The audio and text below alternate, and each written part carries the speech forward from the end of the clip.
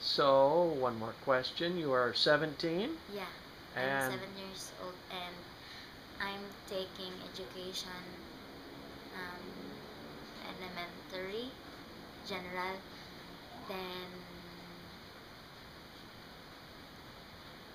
that's fine. and your first year college. yeah, I'm first year college. And where did you go to school last year?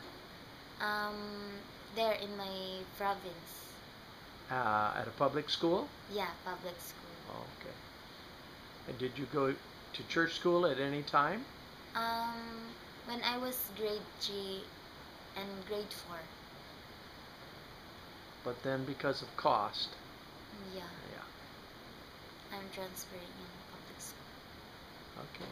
And you want a Christian education? Yeah, I Okay. want.